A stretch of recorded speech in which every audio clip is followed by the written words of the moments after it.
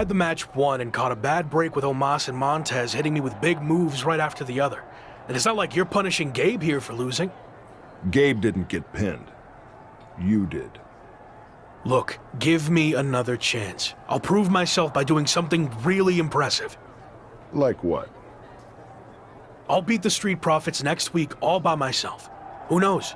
Could even earn us a title rematch. Sure. okay.